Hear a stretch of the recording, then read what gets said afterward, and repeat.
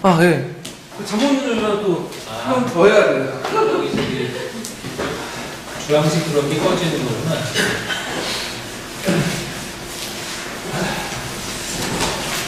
자, 그러면 이제, 그, 감정이적 그 역사의 비판 부분을 이제 볼게요. 역사의 비판. 자, 이 부분은 예전에 한번 나온 적 있어요, 예전에. 어. 제가 또 이제 실어놨는데, 그, 아마 2차 기출 문제에서 낸 거예요. 그래서, 어, 이거 남색책에도 있고, 이런 문제 요번에 나오기가 좀 힘들긴 한데, 일단은 예전에 한번 기출에 나왔기 때문에, 보고 넘어갈게요. 자, 거기에 이제 본 게 뭐냐면, 어, 감정입의 역사가 비판이 있는데, 그 내용이 이제 뭐냐면, 첫 번째는, 일단 역사의 감정입은 체계화되지 못했다. 어. 그리고 동일한 자를 봤다고 할 때, 과거와 행위자의 의도 동기의 이해를 전제를 하는데, 어, 실제 역사가 아무리 그 과거 행위자의 의도 동기를 이해하려고 해도, 그때 사람이 아니잖아.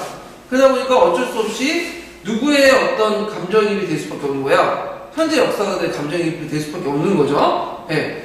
두 번째는 이제 마지막으로 이제 텍스트적 감정이입을 보면 그, 어, 첫 번째는 이 텍스트 자체가 뭘로 표현돼 있죠? 언어로 표현돼 있죠. 그러니까 언어를 통해서 역사를 이해할 수 있어요. 텍스트로 입장에서 없죠. 왜냐면 언어는 역사를 사용 반영하는 게 아니라 허구적인 산물이죠. 어. 그래서 이걸 통해서 어, 과거, 감정을 통해 과거에 들어가는 것 자체가 말도 안 된다. 어. 그 다음에 이제, 당연히 또 역사적 사실을 만드는 사람들이, 자료를 만드는 사람이 또 그 해석이 개입되죠. 어. 그래서 그 당시, 그니까 사람들의 행위자의 입장을 단언하지 못하고요. 어, 오히려 그 뭐냐면 역사적 자료를 만든 사람의 입장만 더 강요할 수 있다. 어, 이런 것들이 이제 있고요. 그래서 이걸 이제 또 뭐냐면 국보각에서 뭐 비판적 역사 입장 해석도 같이 해야 된다. 그 다음에 어, 세 번째로는 뭐냐면 그 역사적 행위의 상황을 알려주는 context의 자료도 어, 제작한 사람의 관점과 해석을 개입될 수밖에 없는. 요때는 context라는 건 뭐냐면 그 텍스트를 둘러싸 있는 사회 문화적 맥락을 말해요. 그러니까 예전에 그 뭐냐면 어, 사회 비판할 때 그 텍스트 비판 있고 문맥 비판 있죠. 이 문맥 비판과 아닌데 뭐야? 문맥이라는 context. 그러니까 텍스트 둘러싸이는 어떤 사회 문화적 환경을 비판을 한다고 해도 결국 그 사회 문화적 환경에 대한 인식은 누가 하는 거예요? 역사적 행위 그 사료가 쓰여 사료 썼던 사람이나 해석했던 사람이 하는 거죠. 어 지금도 보면 이제 그 쉽게 얘기해서 조선 TV 조선에서 한 소리하고 그다음 한겨레나 경향에서 하는 소리하고 사회적 인식이 뭐예요? 완전히 다르죠. 예. 그러니까 이유를 각기 다른 거 가지고 뭐 사회적 맥락을 통해서 어 하면 객관적 인식했다는 것 자체가 웃긴다는 거죠. 이게 이제 뭐냐면 텍스트로서 관점의 비판이에요. 네. 그래서 이게 이제 있는데 요거는 그렇게 중요한 건 아니에요. 그냥 이런 게 있구나 하고 넘어가시면 되고요. 그 남색 책에 209페이지에서 213페이지가 그 내용이 적혀 있거든요. 그래서 시간 되시는 분들은 읽고 넘어가세요, 이 부분을. 자, 그리고 이제 가끔 이제 어디 나왔는지 확인만 좀 해볼게요. 그 기출 문제. 자, 그 390페이지 잠깐 보세요. 390페이지. 자, 2표 390페이지에 보면 어 그게 2차 기출과 관련돼서 나왔어요. 10년 2차 기출 문제.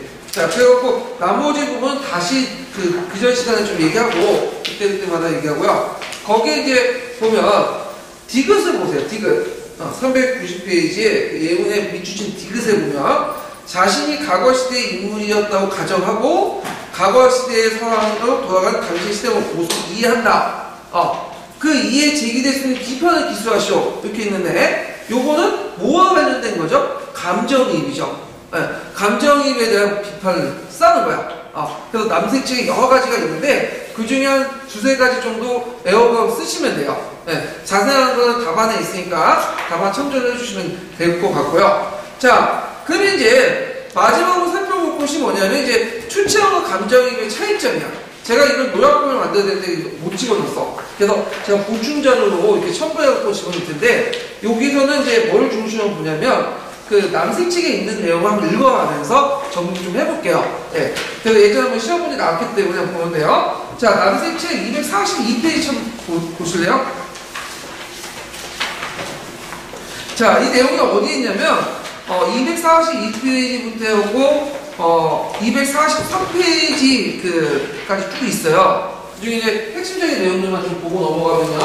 잠깐만요.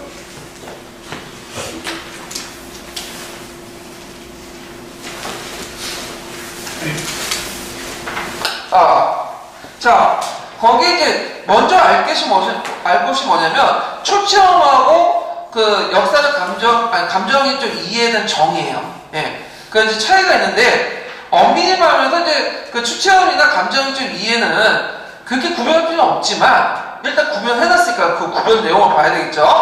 어, 두 번째 단락에서 하나, 둘, 셋, 넷, 다섯, 여섯, 일곱 먼저 일곱 번째 줄을 볼게요. 일곱, 일, 일곱 번째 줄이요. 자, 이때 역사적 인물이 되어서 어떤 행동을 하는 것을 추체험.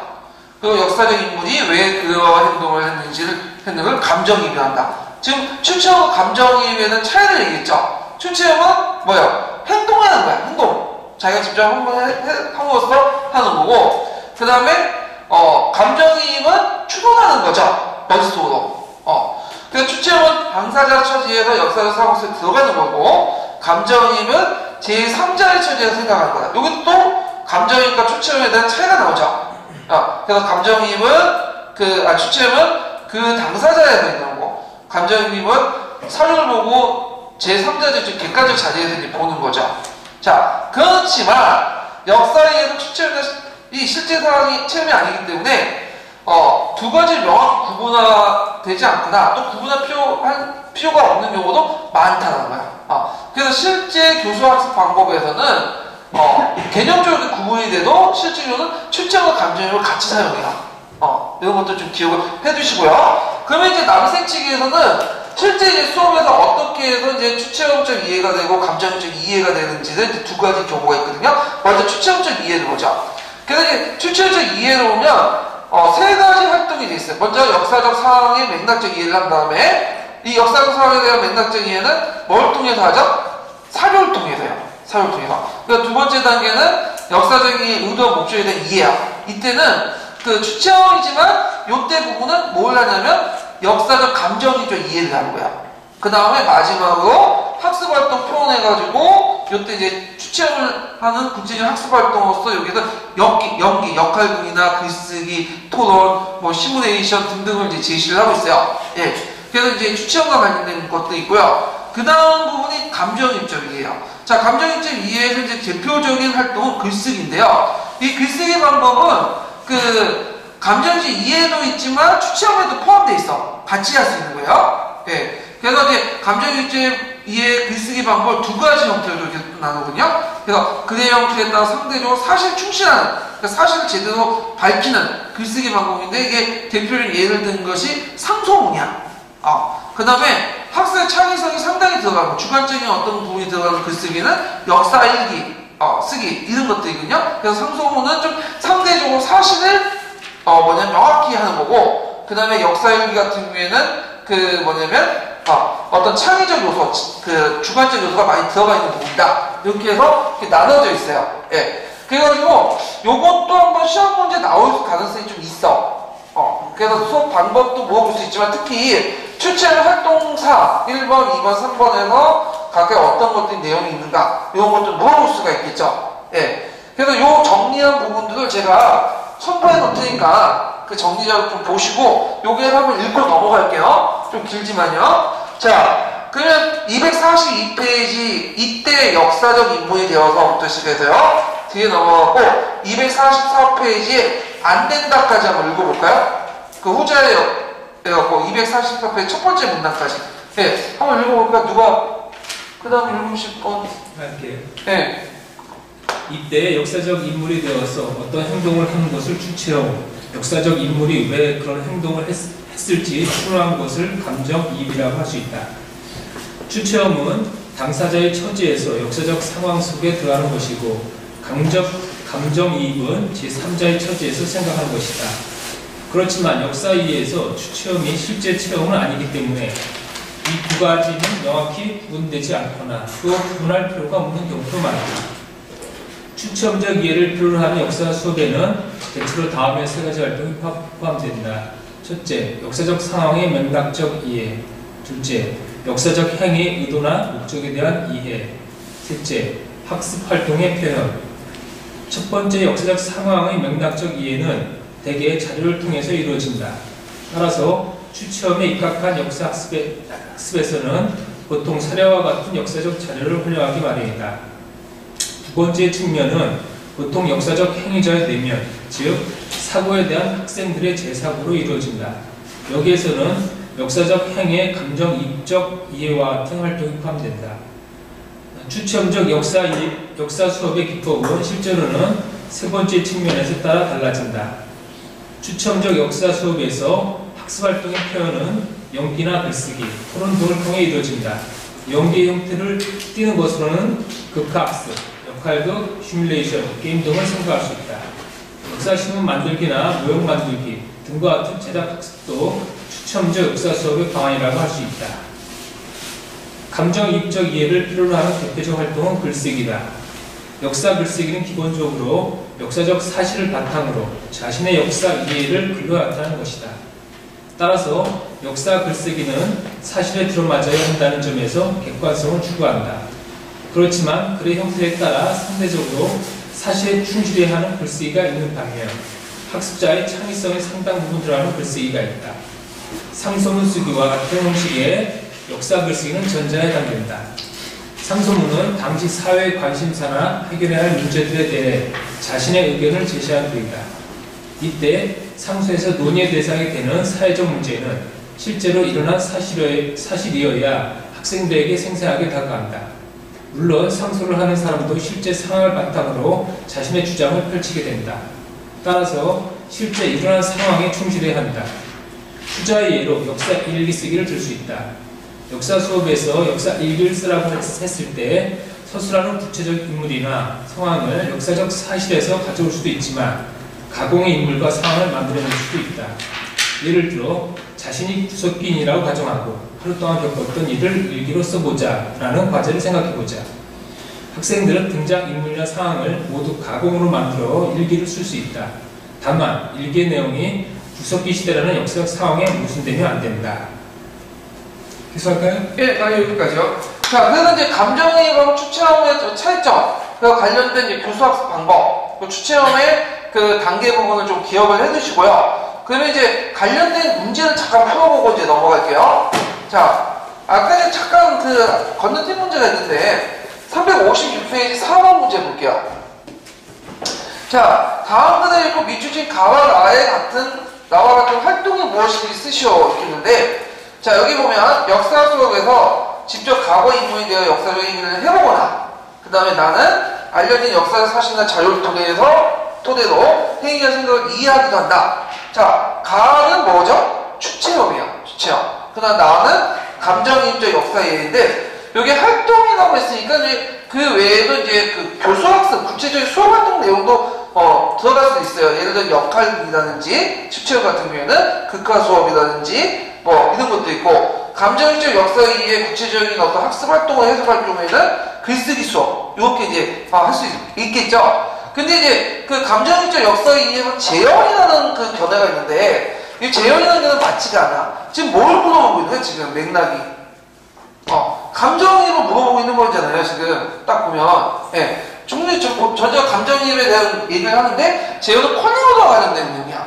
물론, 맥락은 비슷할 수 있어요. 이해가 돼. 근데 왜 안 되냐면, 역도론에서는 그 자체만 봐야지, 거기에 플러스 알파를 갖다 붙이면 안 되는 거야. 비슷하다고 해서. 어, 요번에 이제 문제에 나왔던 것이 문학작품 관련된 문제죠. 분명히 지금 문학작품에 대해서 명시해놨는데 왜 갑자기 내러티브가 튀어나와? 이해를 못하는데 내러티브가 보면 그 비슷한 내용이 있을 수 있어. 근데 분명히 지금 딱 문제 문학작품이라고 이렇게 딱 나오면 문학작품에 한정돼서 얘기해야 돼요. 거기에 플러스 알파를 갖다 붙이면 틀리는 거야.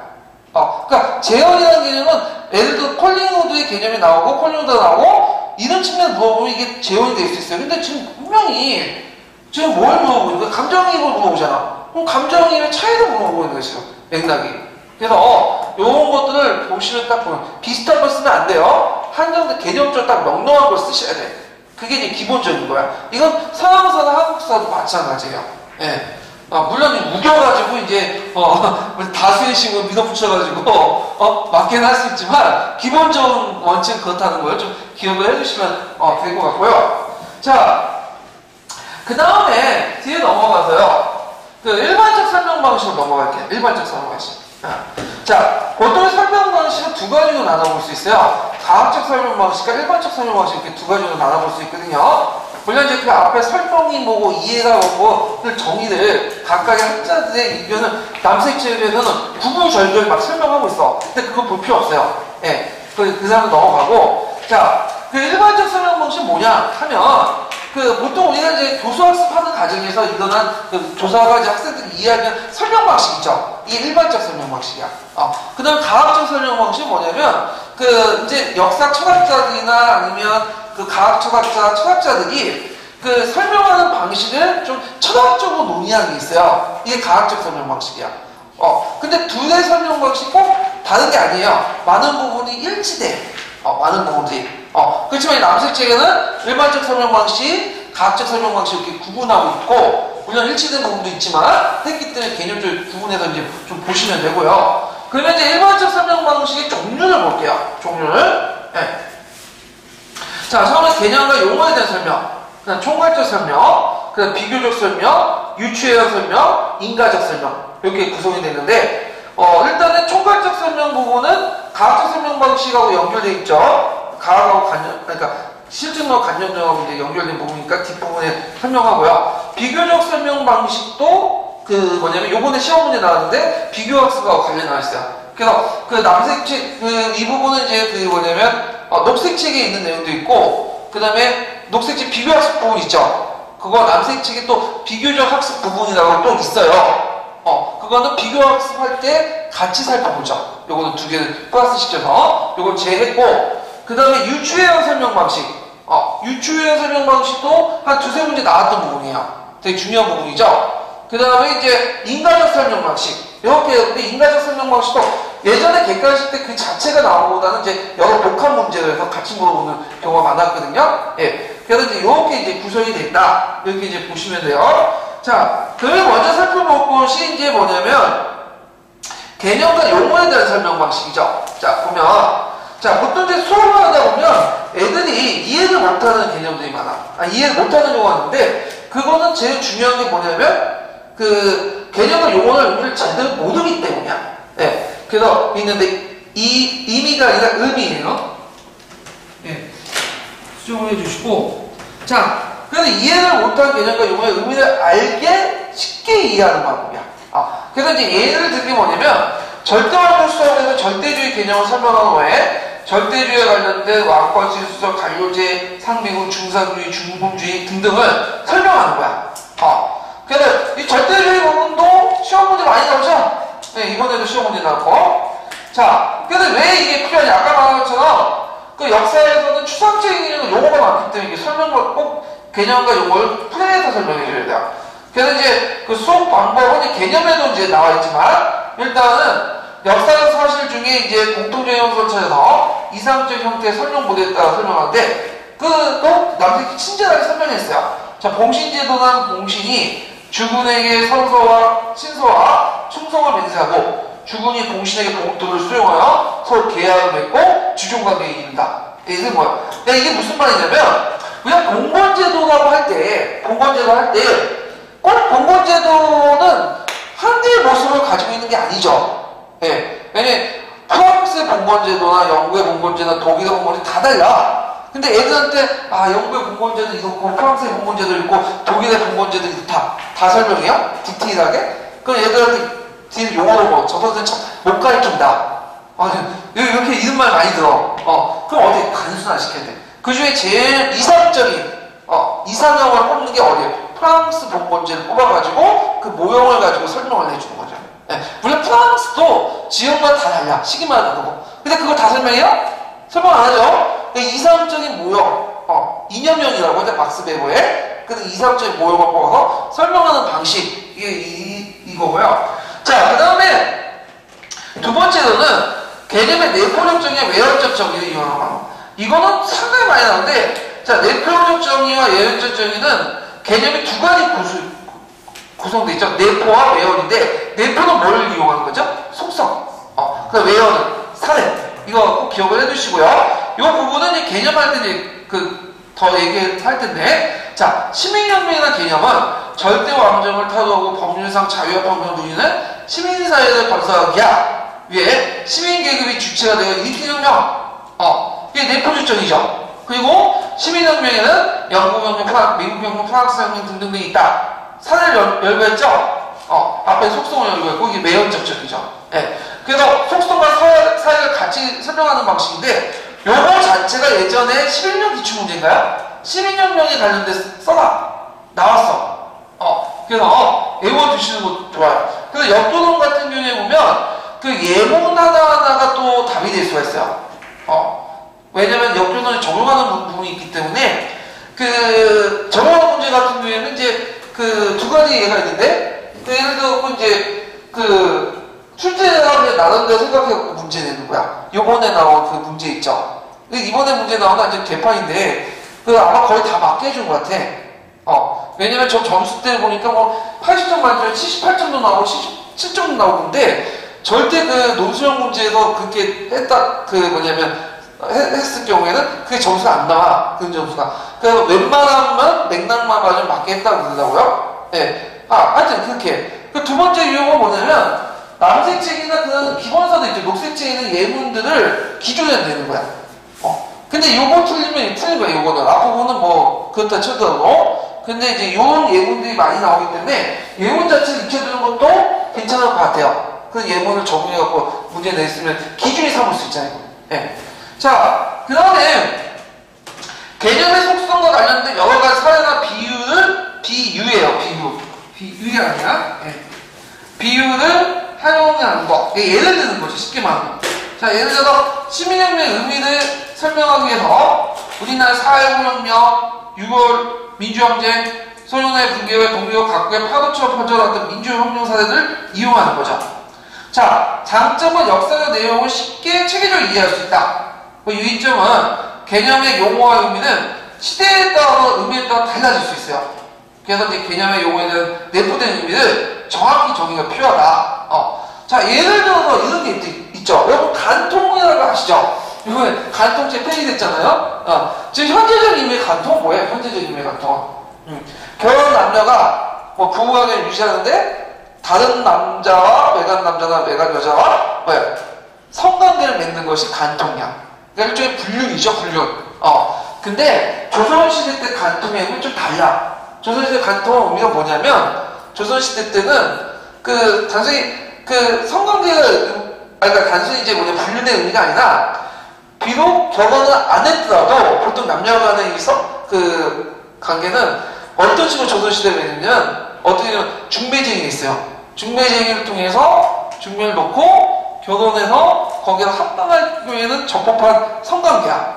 어, 근데 그렇지 못하고 뭐 불륜했다거나 아니면 미혼이더라도 지네끼리 눈 맞아가지고 그냥 했어. 어. 그럼 방학간에 했어. 이게 뭐야? 간통이야. 간통 사건이야. 어. 그러니까 우리가 생각하는 간통의 범위보다 뭐예요? 더 넓은 거야. 이 간통이라는 개념이. 네. 그래가지고 이런 걸 설명을 같이 해줘야지 우리식으로 설명하면 좀 이해가 안 되는 부분도 있어요. 물론 예전때 간통 얘기는 안 하겠지만, 예. 자, 쑥쑥 들어오죠. 간통 얘기하니까. 예.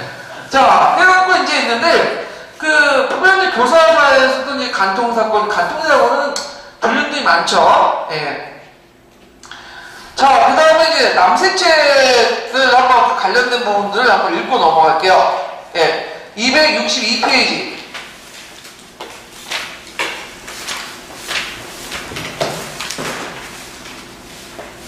자, 262페이지에 이제 그래서 265페이지까지 이제 그 내용들인데요. 자, 여기 보면 이제 쭉 내용이 있어요. 근데 이제 요거 뭐 다 읽기 좀 그래가지고 뭐만 있냐면 그 일단은 어 263페이지 있죠. 263페이지 그 두 번째 단락하고 마지막 단락 그 다음에 어 264페이지에 그어 뭐냐면 아, 까지 한번 읽어보죠. 263페이지. 아니, 그, 첫 번, 그 263페이지 첫 번째, 두 번째 단락과 세 번째 단락부터 읽죠. 예. 누가 읽어보고 싶대요? 개념이나 용어를 설명하려는 교사는 어떤 역사적 사실들 가운데 공통적인 현상을 찾아내어 이상적인 형태의 설명 모델을 만들고 그 설명 모델에 따라 설명을 하게 된다. 예를 들어 공건제도에 관한 설명을 하면서 공건제도란 공신이 주군에게 신서와 충성의 맹, 맹서를 하고 주군이 공신에게 공토를 수여하면서 서로 계약을 맺고 주종관계를 이루는 제도라고 설명하는 것이다. 물론 중세 유럽의 국가나 지역 가운데는 이러한 설명 모델에 부합하지 않는 공건제도를 가진 국가나 지역도 있을 것이다. 그러나 역사교사는 이러한 국가나 지역의 차이는 일단 배제한 채 주군과 공신, 신서와 충성, 공토, 계약관계 등 공건제도의 기본적인 속성을 중심으로 하는 공건제도의 이상적인 모델을 설정하고 그러한 모델을 가지고 공건제도가 무엇인지 설명하는 것이다.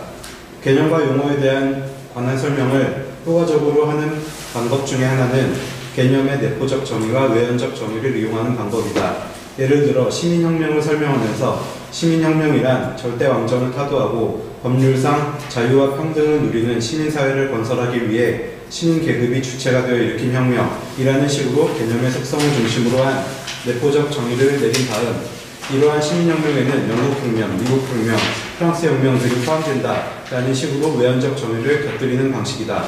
교사는 또 개념의 의미를 알기 쉽게 설명하기 위하여 개념의 속성과 관련된 여러 가지 사례나 비유들을 적절하게 활용할 필요가 있다. 예컨대 시민혁명의 의미를 설명하기 위하여 우리나라의 4.19 혁명과 6월 민주항쟁 혹은 소련의 붕괴 후에 동유럽 각국에서 파도처럼 퍼져나갔던 수많은 민주혁명의 사례들을 적절하게 이용할 수 있을 것이다. 예. 자, 그 다음에 그 다음에는 개념과 용어를 이용할 경우에 어떤 장점이 있는가 이렇게 있는데 자 예를 들어 이제 그 역사적 사고의 발달 수준을 의미한다 해갖고 뭐 이렇게 있고 그 다음에 그 뒤에 보면 그 체계적으로 내용을 쉽게 이해하기 위해 한다. 어, 그래서 이제 어, 이런 내용도 쓰시면 되는데 요것은 뒤에 나오는 개념의 장점 있죠. 그거 연결시켜서 가시, 가, 보시면 될 것 같아요.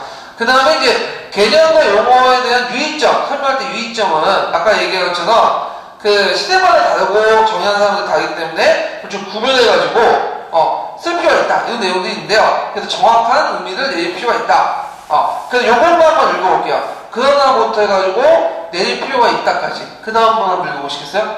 예. 그러나 개념이나 용어에 대한 설명에서 유의할 점은 개념이나 용어를 올바르게 정의하기 쉽지 않다는 것과 개념이나 용어의 의미는 시대나 사람에 따라 달라질 수 있다는 것이다. 예를 들어 중세 유럽의 공권제도를 좁은 의미로 보느냐 넓은 의미로 보느냐에 따라 공권제도의 개념 설명은 달라진다. 더 나아가 중세 유럽과 중국 및 일본의 공권제도를 서로 비교하는 수준으로 설명이 확대된다면 공권제도의 설명은 훨씬 더 어렵고 복잡하게 된다.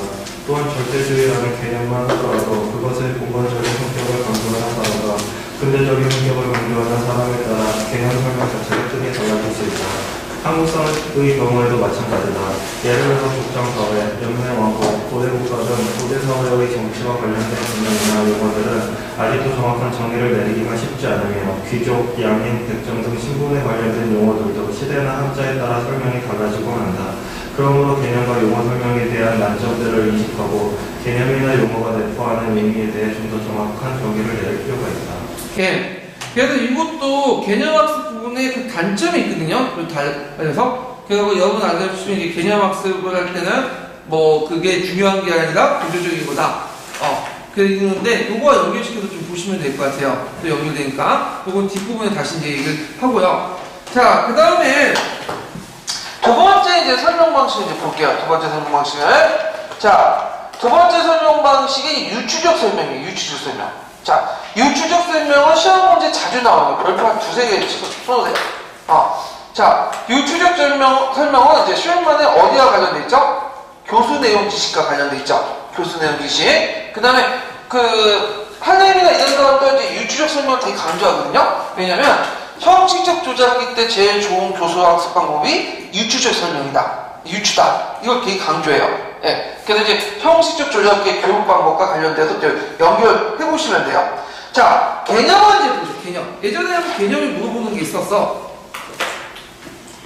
개념은 이제 그 둘 이상의 대상 사이에 보이는 유사성의 관계에 대한 암시, 인식에 대한 추론, 그리고 역사적 사건의 개별성이나 일반성을 연결시키는 거. 그래서 그걸 통해서 동영의 사건을 찾아 양자의 관계를 유출하는 거죠. 예. 그래서 이제 있는데, 자, 그래서 이제 그 예를 드는 게 이제 보면, 뭐 고려 대동작을 설명하고, 설명하려면 어디로?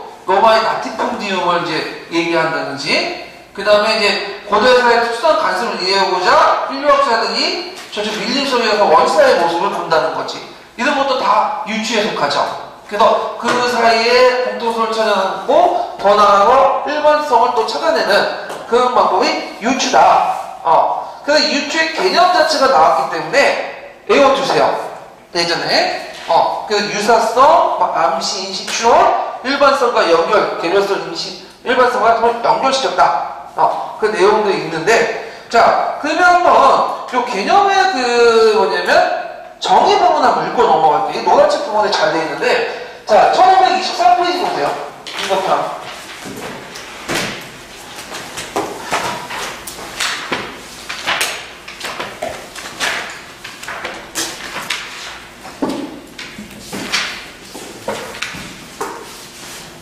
자, 거기 보면 노란색 부분에 그 23페이지에 유추 있죠? 유추 부분. 한번 읽어볼게요. 예. 그 다음 분 누구시죠? 야, 아무나 읽으세요, 그냥.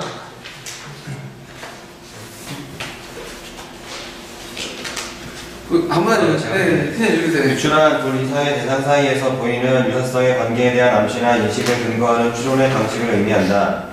역사에서 유출한 역사적 뭐 어떻게 아, 역사적 설명을. 설명을 설명하기 이게 위하여 오타예요, 주변에. 알고 있는 아, 역사적 사실에 대한, 사실을 설명하기. 아, 사실을.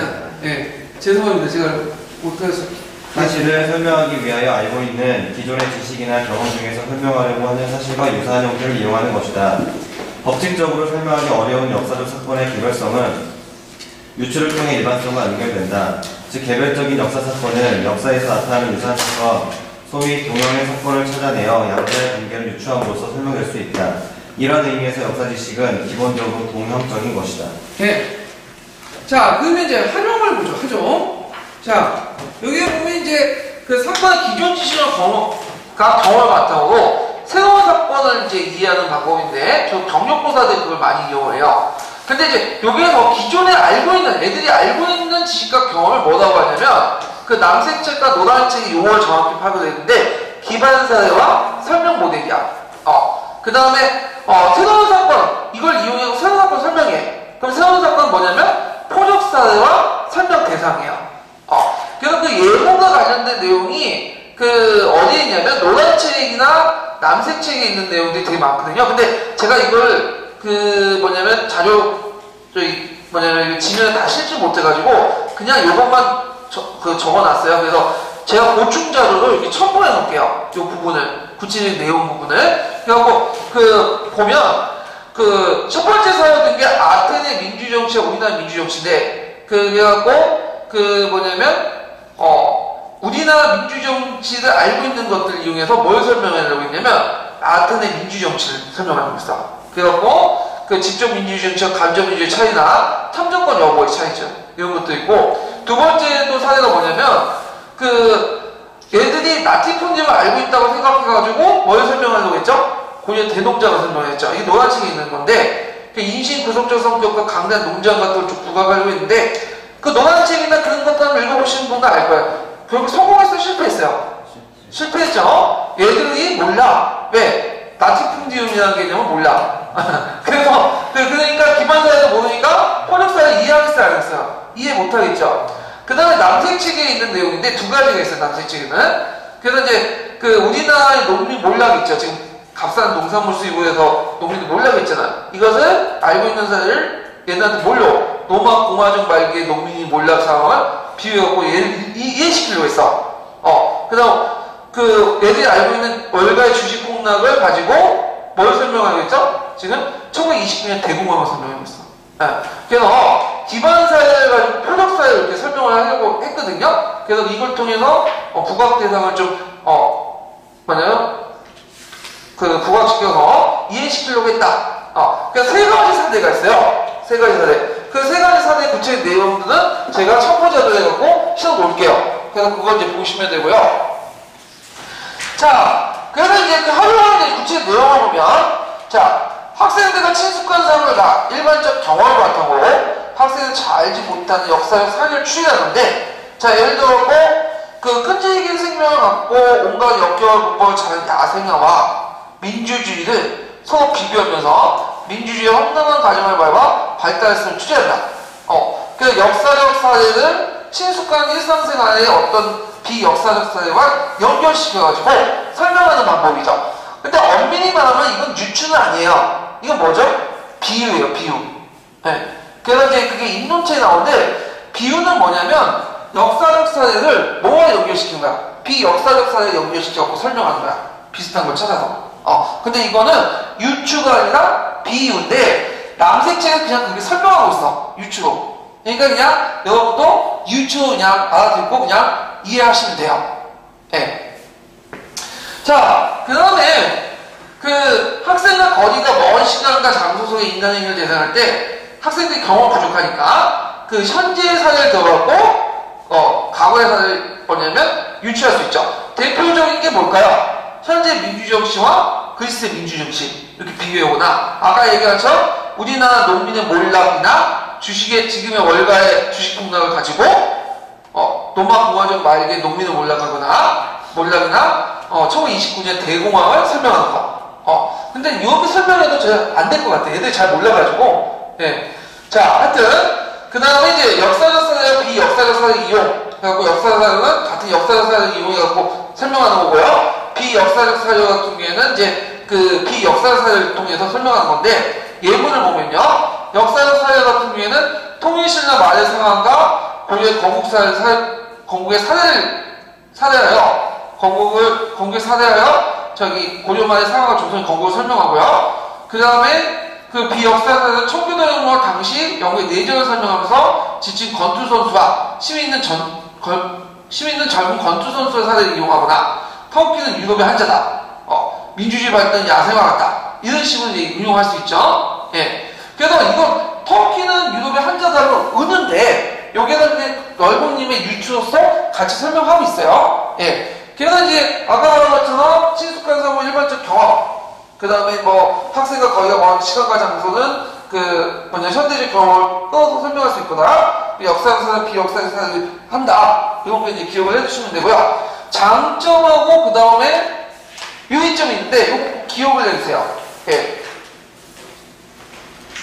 자 예전에 유의점이 많이 나왔죠. 장점을 보면 생소한 역사적 사실을 익숙한 경험을 통해 새로운 사실을 추이 유도하면서 간신과 흥미를 유발시킬 수 있어요 그 다음에 비교, 대조, 분석을 통해서 학생의 역사적 사고를 촉진시킬 수 있고요.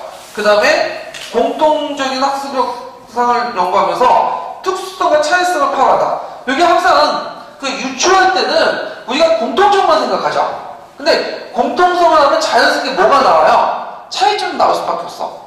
어, 그래서 그 유추는 뭐하고 또 연결되냐면 비교학습하고 연결돼. 요 유추는. 음, 그래서 한 공통성과 게 뭐냐면 차이점을 파악할 수 있다. 어, 예를 들어갖고, 그 아테네 민주정치, 우리나라 민주정치에 대해서 공통성을 찾아서 유출하지만 자연스럽게 또 뭐가 더 나올 수밖에 없어요. 차이점은 나올 수밖에 없겠죠. 예. 그래서 이런 것도 이제 기억을 같이 해두시라. 예. 자, 그 다음에 유의점. 유의점 별표 3개 쳐보세요. 이게 이제 시험 문제 한번 나왔는데, 자, 두 가지 대상 중에 어떤 부분을 부각시킬 것인가에 대한 고조가 있어야 된다. 그래서 이제 첫 번째 사례는 이제 아까 이제 든게 뭐냐면 그, 그 아테네 민주정치, 우리나라 민주정치를 할때 그 교사가 직접 민주정치와 간접 민주주의 차이를 부각시킬 것인지 참정권 여부를 부각시킬 것인지 명확히 할 필요가 있다는 거죠. 그 다음에 또 고려 대동자가 나티풍력 유추할 때 뭐 이지 구속적 성격을 부각시키는 건지 아니면 강대 농장의 특정 특징들을 부각시킬 것인지 그래서 어, 부각 대상을 명확히 할 필요가 있고요. 자 두 번째로는 설명 대상과 모델을 설정하고 구분 유형 이게 뭐냐 설명하다 보면 뭘 설명을 해야 될지 뭘 비교를 뭘 설명할지 헷갈릴 리가 있어. 어 그래갖고 있는데 이때 설명 대상이라는 건 뭘 뜻하는 거죠? 설명 대상은 자기가 지금 알지 못한 얘들한테 알지 못한 것을 설명하는 설명 대사, 포장 사례 말하는 거고, 그 다음에 설명 모델은 뭐예요? 기존에 얘들이 알고 있다고 생각하는 걸 말하는 거죠. 그래서 그 설명 모델, 기반 사례, 아, 이런 것들 구분할 필요 있고, 그 다음에 아까 얘기했잖아. 그 유추는 공통점도 주의하지만, 공통점도 중요하지만, 뭐도 같이 파악해야 돼요? 차이점도 파악할 필요가 있다. 어, 그런 것들 좀 기억해 두시고, 그 다음에 이제 학생들 성인 학습 정도나 경험의 양, 그 다음에 친숙한 경험에서 출발해야 된다. 그 대표적인 게 이제 나티콘디움을 가지고 거기에 대농장을 설명하는데 실패했죠. 그것은 뭐가 실패했기 때문에요? 선행 학습의 정도나 경험의 양을 고려하지 못했기 때문인 거죠. 어, 얘들이 나티콘디움 아닌지 모른지 모르는 상태도 하는 거지 지금. 자, 그 다음에 어, 다음 보면 학생의 자발성의 유도가 어렵고 교사의 의도와 달리 유추할 수 없다. 유추할 수 있, 음 아, 교사의 의도와 달리 어, 유추를 할 수 있다는 거. 이게 뭐냐면 요 유추라는 것은 누가 중심이죠? 교사가 중심이에요? 학생이 중심이에요? 교사가 중심이야. 그러니까 아무리 그 흥을 끈다고 해도 한계가 있는 거야 이건. 그리고 나는 이런 식으로 유추를 하려고 했는데 애들이 다른 식으로 이해할 수 있어. 어. 이건 뭐, 그, 예를 들어서, 저기, 그, 예를 들면, 그 뭐냐면, 그, 예를 들어서 뭐, 그 뉴스에서는 막 범죄행위 같은 거 있잖아요. 그걸 막기 위해서 이제 그런 것들 보내, 보여주는데, 그걸 보는 사람이 꼭 그런 건 아니죠. 꼭 반대로 하는 사람 있죠. 예. 그러니까 사람, 그 사람들이 있는 그대로 그대로 받아들이는 게 아니에요. 그러니까, 교사가 이렇게 말을 해도 다른 식으로 해석해갖고 받아들이는 거 있어요. 예. 그래서 이런 것들이 있고요. 그 다음에, 또 하나는 이제 부정적 인식의 위험성을 사전 검증할 필요가 왜냐하면 특정한 대상을 이제 설명하면서 거기에 교사가 나름대로 뭐그 부정적 인식을 막 심어줘갖고 특정 대상에 대한 부정적 인식을 어 뭐냐면 퍼질 수가 있, 있을, 있을 수 있고 그리고 역사적 사건의 동영을 구하기가 참 힘들어 비슷한 사건들. 어 그런 것도 이제 쓰시면 되는데 이 부분은 남색책에 있는 부분이 아니라 인도책인가 거기 부분에 있는 거야. 비급 부분은. 예. 그래서 이제 남색책 수준만 봐도 될 것 같아요. 예. 그러면 관련된 내용 한번 보고 넘어갈게요. 자, 남색책 270페이지 펴보세요. 자, 남색책 270페이지에 보면 이제 그 유추에 의한 설명 있고, 그 다음에 이제 그 구체적 예를 두고 있죠. 이거 유추적 설명은 뭐와 연결되냐면 비교적 설명이라는 거 연결됐다. 이렇게 있고요. 그 다음에 그 271페이지에 보면 유추에 대한 정의가 나와. 어, 그래갖고 이 유추의 정의를 한번 보고 넘어갈게요. 다 읽지 못하겠고 271페이지 첫 번째 단락만 한번 보고 넘어갈까요? 예.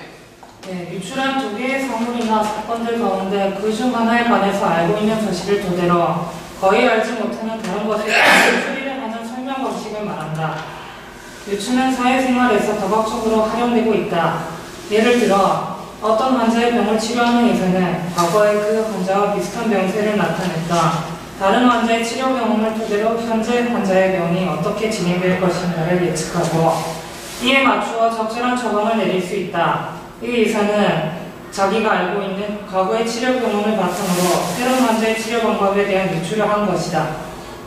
네, 여기까지 유추에 대한 이제 설명이고 그 다음에 유추를 할 때 어떻게 활용할 것인가 어, 그래서 유추를 설명할 때는 교사가 교사는 학생들이 친숙한 상황이나 일반적 경험 혹은 역사적 사를 바탕으로 학생들이 잘 알지 못한 역사적 사를 추리하는 방식을 설명하거나 어, 그 다음에 뭐 유사성 관계를 이용하거나 쭉 보시면 되고요. 그 다음에 유추에 대한 어떤 구체 예문이 나오는 부분이 있는데요.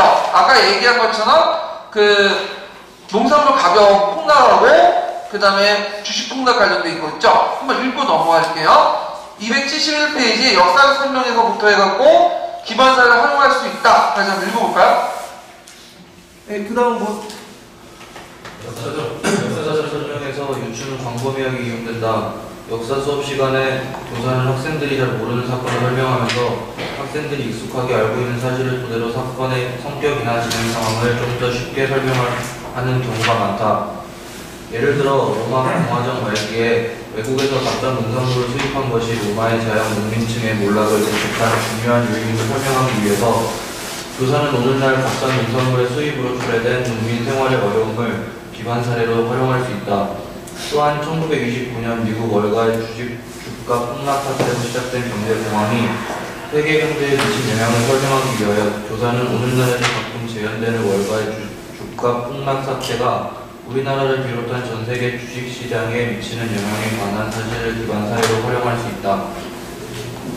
자, 그래서 이렇게 해서 구체적인 기반 사회와 이제 이런 것들 표적 사회 있고요. 그 다음에 그 유추와 관련된 내용들 이제 뭐냐면 장점, 그 다음에 그 유의점 이렇게 있는데 그 장점을 각자 읽어보시고 유의점 부분을 한번 볼게요. 자, 첫 번째는 유추는 학생들 친숙한 경우부터 출발해야 된다는 거. 그래서 이제 그 역사 수업에서 대한 설명이 도입된 이유는 학생들이 이미 알고 있는 기존의 지식이나 경험을 기반 사례로 뭘 설명하기 위한 거죠? 포적 사회를 이해하기 위해서 설명하는 거. 그래서 선행 정, 학습 정도를 파악할 필요가 있고요.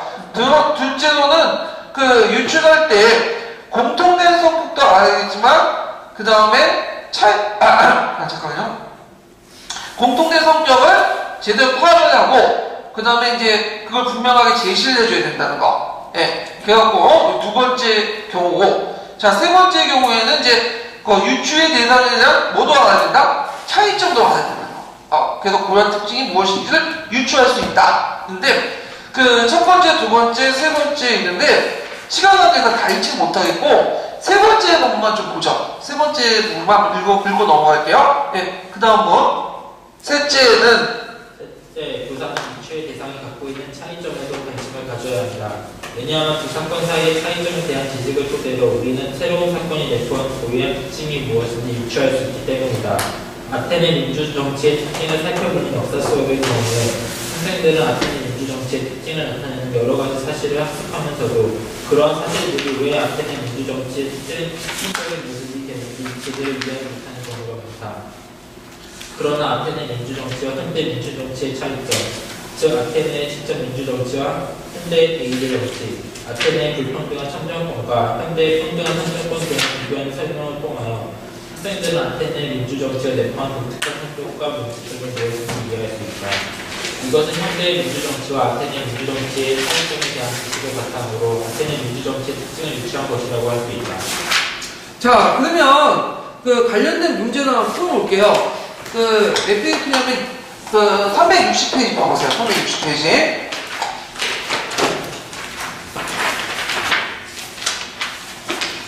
자, 360페이지 보면 이제 유출 부분이 있는데요. 자, 1번 문제 볼게요. 1번 문제. 자, 보기를 근거로 유추에 대한 설명한 것을 옳지 않은 것은 이렇게 있는데, 자, 여기 보면 이제 그, 이 노란색 예문에 있는 건데요. 지금 뭘 가지고 뭘 설명하려고 했죠? 어, 나티품 내용을 가지고 고려의 대농장을 설명하고 했죠? 근데 결국엔 실패했어. 어, 왜냐면 알지 못하니까 그 넘어간 거거든요. 자, 그럼 보면, 자, 유추는 친숙한 경험부터 출발해야겠죠? 애들이 잘 모르는데 지금 하고 있는 거 아니야?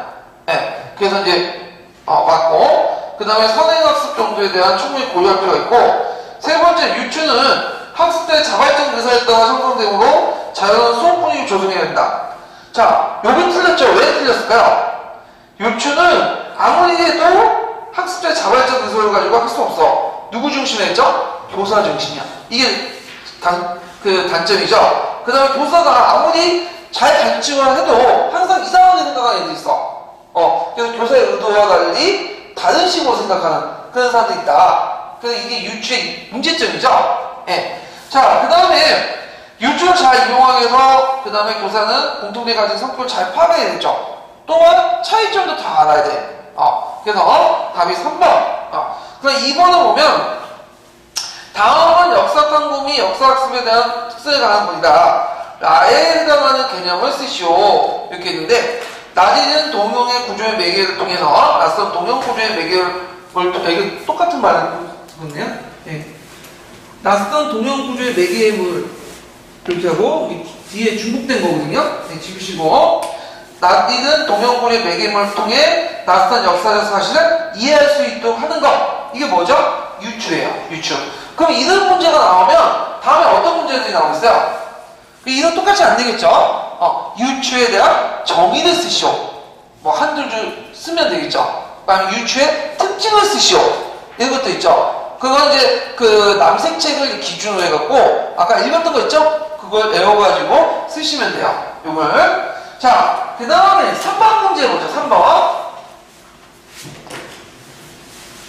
자, 3번 문제는 유추뿐만 아니라 여러 가지 설명 방식 같이 들어가 있어요. 그래서 이제 그 뭐, 좀 지금 풀기는 좀 그런데 좀 복합적인 문제이기 때문에 어, 뭐 나중에 자세한 설명은 해당 부분에서 이제 하고요. 여기서 한번 보고 넘어갈게요.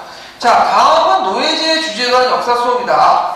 가와 마의 설명 방식을 옳게 연결한 것을 보기 모두 보는 것은 자, 줄친 것만 읽을게요. 자, 노예는 전쟁의 포로가 되었거나 빚을 갚지 못한 예속한 사람이죠. 노예는 뭘 지금 설명하고 있죠? 개념이나 용어에 대한 설명이죠. 어, 근데 회폐의 연어적 법칙적 설명? 어, 일단 연어 법칙 설명은 회폐의 주장한 게 아니죠. 누가 주장한 거예요? 포포가 주장한 거죠. 그래서 기나적 확률적 설명은 답하고 나지 먼 거니까 틀렸고, 예. 그 다음에 나를 보면 자, 사슬에 묶인 채 채찍을 맞으며 노를 젓는 일을 모두 기피한 것이므로 죄수나 그 노예들이 죄수들과 노예들이 갤리선을 젓는 일을 동원했어요. 자, 여기에는 원인은 뭐야? 사실 너무 힘들기 때문에 누가 동원했다는 거죠? 죄수와 노예, 노예들이 동원했다는 거죠. 뭐와 관련된 거야? 인과적 설명이죠. 인가적 설명. 그 다음에 다른 보면 17세기 모로코와 리비아 사이에 위치한 북아프리카 노예 시장에서는 여러 지역에 복잡해온 백인 노예와 흑인 노예가 함께 거느렸어요. 자, 노예의 개념을 알기 쉽게 설명하기 위해서 노예의 속성과 관련된 여러 가지 사례를 지금 제시하는 거죠. 예. 그래서 이제 아까 언급한 것들 절대주의 개념을 어, 설명하면서 왕권 신술 관련 관료제 뭐 상비고 중사주의 이런 거 설명 있죠. 이런 거야. 그러니까 개념과 용어에 대한 어떤 구체적인 사례 설명이야. 어, 그래서 개념과 용어에 대한 설명이죠. 그러면 비교적 설명은 이 틀렸죠. 비교적 설명이 나오면 뭐가 나와야 돼? 유사점과 차이점이 나와야겠죠. 그래서 이제 아 잠깐만. 아. 그러니까 비교적 설명 유사점과 차이점이니까 틀렸죠. 그래서 아니고요. 그 다음에 나를 보면 자 좀 앉아서 할게요. 아우 다리가 아파. 머리가 하고 있으니까요. 아유.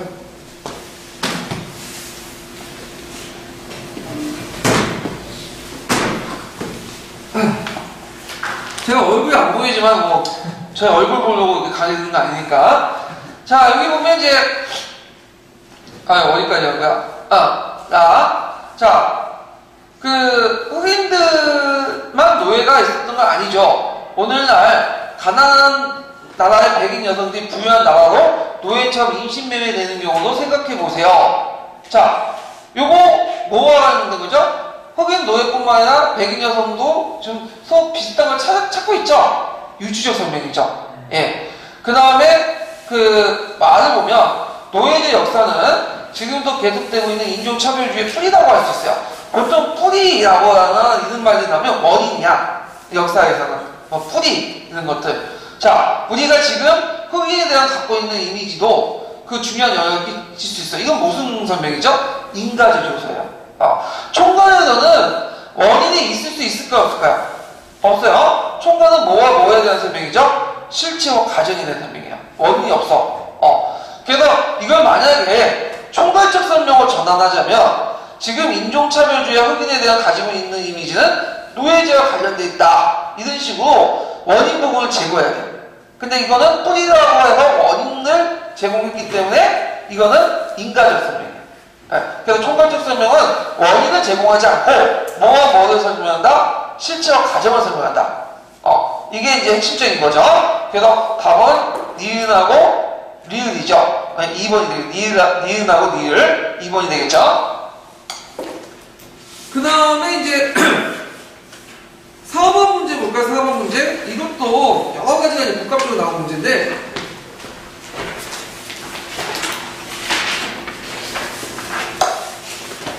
아이고, 아이고, 그냥.